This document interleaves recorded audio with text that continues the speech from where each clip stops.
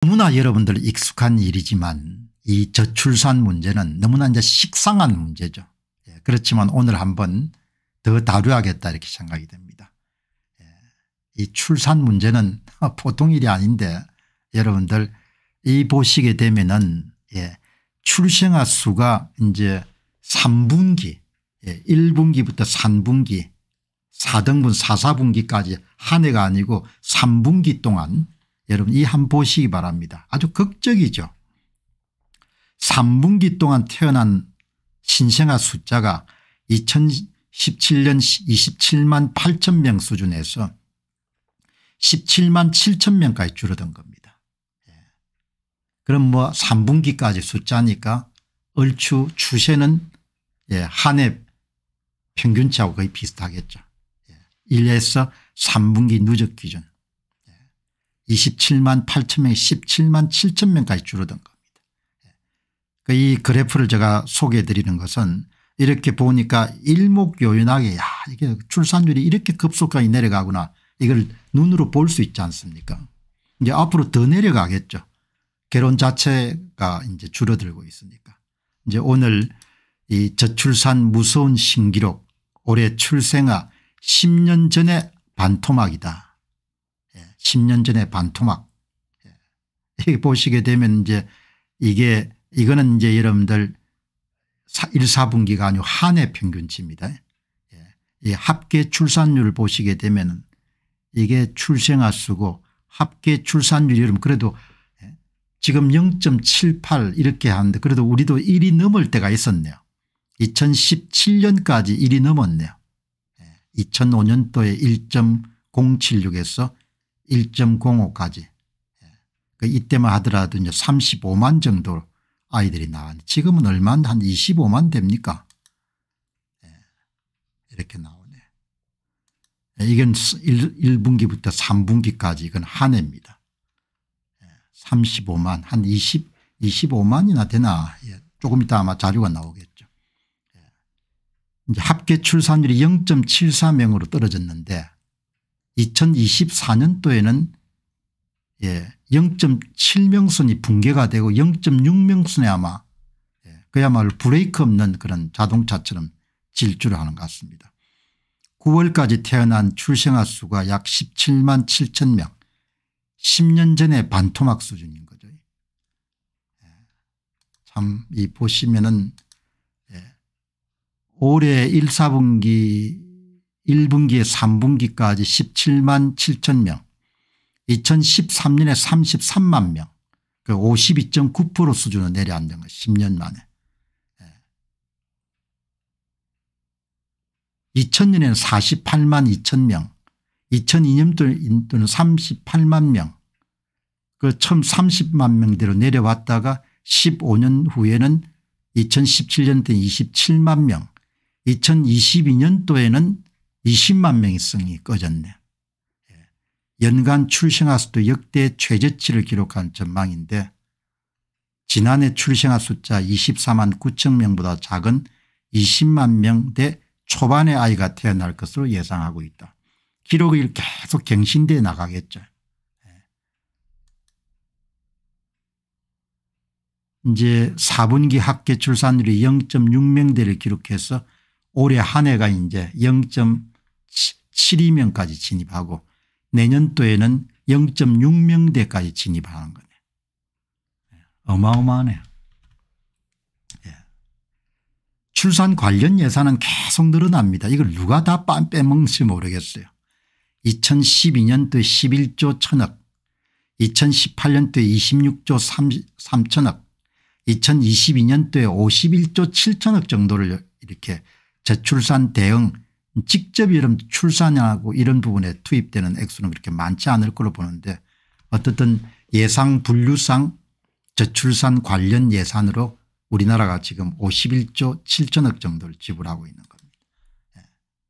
2006년도에 2조 2013년도에 13조 2022년도에 51조. 돈은 돈대로 들어가고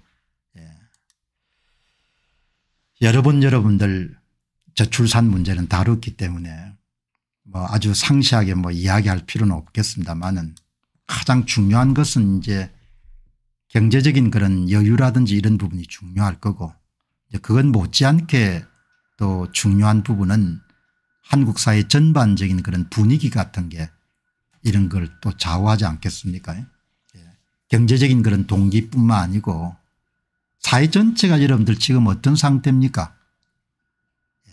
일단 첫 번째는 앞이 잘 안 보이는 거죠 희망이. 또 다른 하나는 개인 차원에서 보게 되면 은 희생하고 헌신하는 데 대한 그런 부분들이 거의 없어졌지 않습니까 예. 그러니까 앞선 세대들은 물론 시대가 다르지만 더 어려운 상황에서도 아이를 낳아서 키웠지 않습니까 지금 우리보다 훨씬 더 못 사는 데도 많으니까 그런데도 아이를 낳아서 키우지 않습니까? 그런데 이제 그 부분들이 물론 상대적이긴 합니다만은 가치관이라든지 이런 부분하고도 굉장히 많이 연결이 되어 있는 거죠. 희생하거나 헌신을 안 하겠다는 거 아닙니까? 재밌는 것이 워낙 많은데 왜 애를 낳아 그렇게 힘들게 사냐?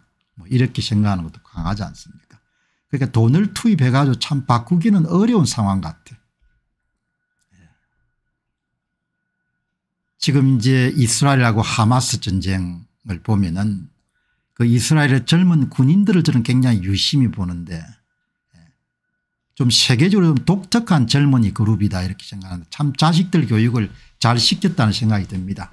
왜 그런가 하니까 그 전쟁터에서도 정말 그 사명감을 갖고 이런 전투에 임한다는 생각이 들 때가 많거든. 물론 모든 이스라엘 병사들에게 해당하는 이야기는 아니겠지만 그, 그 사람들이 갖고 있는 가치관이 그런 것 같아요.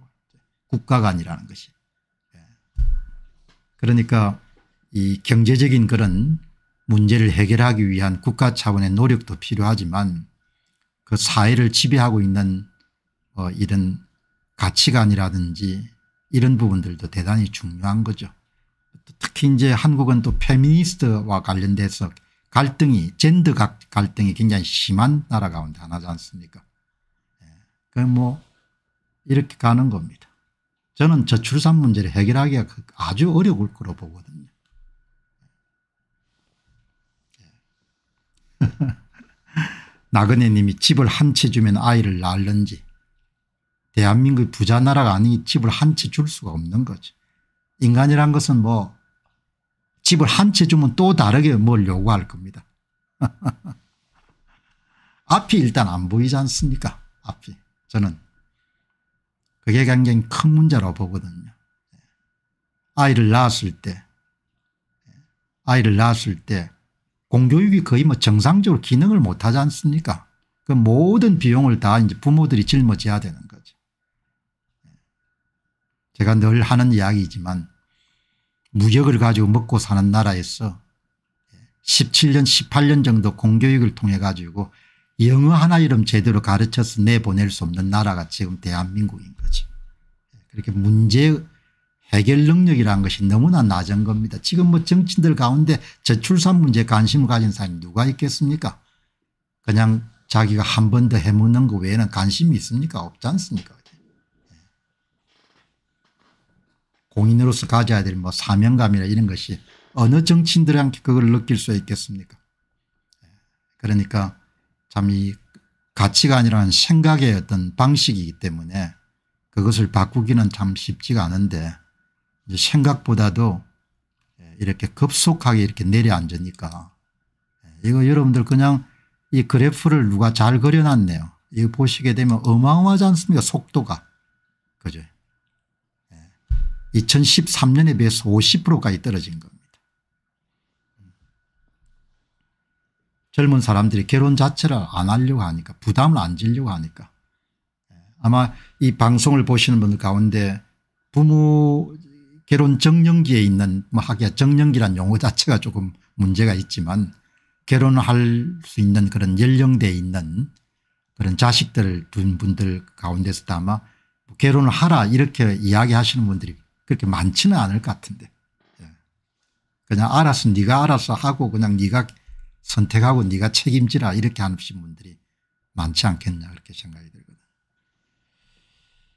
자 어쨌든 간에 사람은 의미를 발견할 수 없으면 뭘 안 하지 않습니까 자식을 낳아서 키우는 것도 자기 나름대로 했던 그런 주관이나 이런 게 없으면 하기가 참 힘들죠. 물론 외부적으로 집값이라든지 취업 문제라든지 또 나라의 장래라든지 이런 부분도 중요한데 예, 그건 못지않게 중요한 것이 한 사람이 갖고 있는 가치관 문제지 않습니까?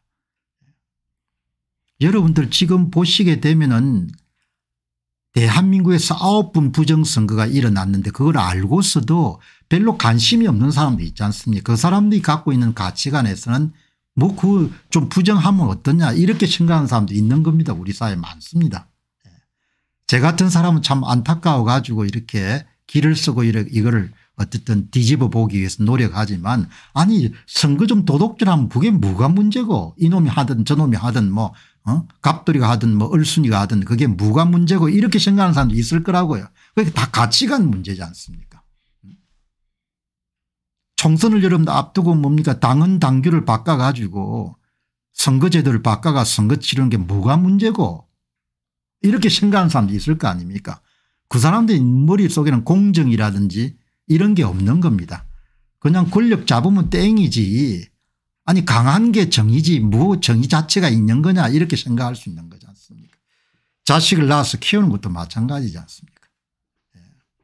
희생하고 이제 헌신이라는 것이 점점 희박해지고 가는 거죠. 예. 그런 면에서 보면은 이번에 참 그 하마스하고 이스라엘 전쟁 상태에서 이스라엘의 젊은이들이 보이는 것은 지금 상대주의 가치관이라든지 뭐 이런 부분이 아주 만연한 그런 세상에서 참 독특한 정말 참 독특한 그런 젊은 사람들이 교육을 했구나 이런 생각이 들지 않습니까 예. 여기 이제 교육비 부담도 아주 크지 않습니까? 예, 공교육이 거의 뭐 지금 뭐 유명무실한 상태가 되지 않습니까? 그냥 공교육이란 것 자체가 그 사람들은 이제 밥벌이를 위한 그냥 도구가 돼버렸지 않습니까? 아이들이 볼모가 된 거고. 예, 그렇게 망가뜨려 놓은 거 아닙니까? 예, 그 이제 그걸 이제 보충하기 위해서 부모들이 어마어마한 비용을 내야 되는 거죠. 저희들도 자식을 키우면서 어마어마하게 비용을 치른 거 아닙니까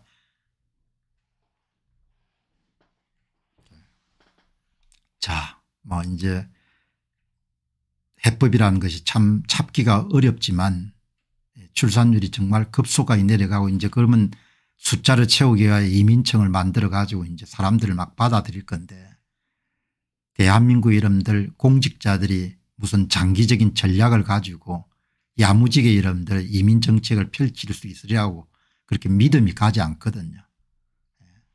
그 이제 중국의 한족들이 대거 유입이 되고 하면은 그냥 그 나라 자체가 뭐죠. 그냥 그냥 흐릿해져 버리는 거죠.